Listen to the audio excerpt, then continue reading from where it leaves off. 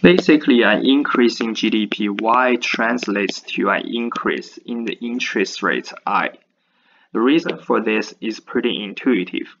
When GDP Y increases, it means there is a lot of production and economic activity going on in the economy.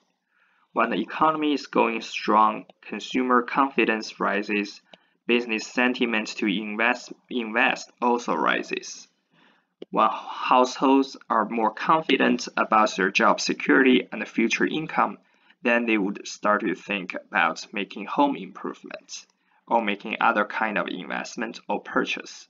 When business see their sales going strong, then they may think start thinking about making business investments such as buying a new oven, buying some outdoor seating facilities, or um, renovating their restaurant, and so on to make this a home purchase or to make business investment, uh, household and business would go to a bank and take out a loan.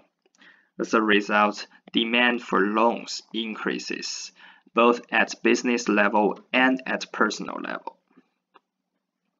When everybody go to a bank and try to take out a loan, this increased demand for loan would push up the interest rate I. As a result, a higher output translates to stronger demand for borrowing, and so interest rate I increases.